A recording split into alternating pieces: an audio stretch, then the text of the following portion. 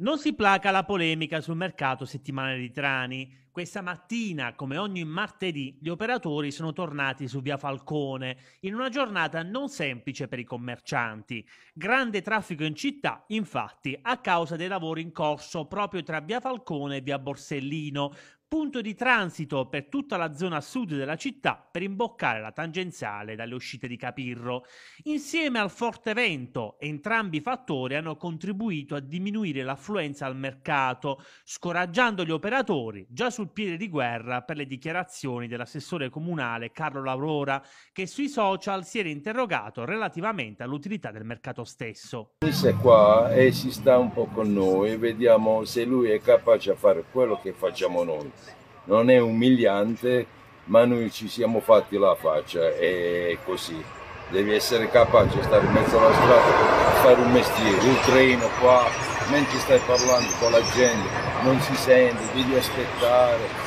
L'assessore sta nell'ufficio, l'aria fresca o l'aria calda, il resto di noi non è che non ne sa niente, fa finta di non sapere niente o ci vuole sbarazzare a dire che il mercato non serve perché lui avrà un fastidio in meno durante la settimana, un giorno, mezza giornata alla settimana. Tante le prese di posizione sulla vicenda, che si è estesa anche all'esterno della comunità tranese, provocando una reazione dei mercatali di tutta la provincia, soprattutto di Andria. Sul punto è intervenuto il presidente di Casa Ambulanti, che ha rimarcato la gravità del silenzio del sindaco Amedio Bottaro su tutta la questione. L'espressione di un assessore può anche dare adito alla consapevolezza che ciò possa essere un'espressione politica, che è la cosa ancora più preoccupante. Devo dire che l'assenza di una reazione da parte della politica, io stesso ho invocato una dichiarazione da parte di Bottaro, del sindaco, che non è mai arrivata,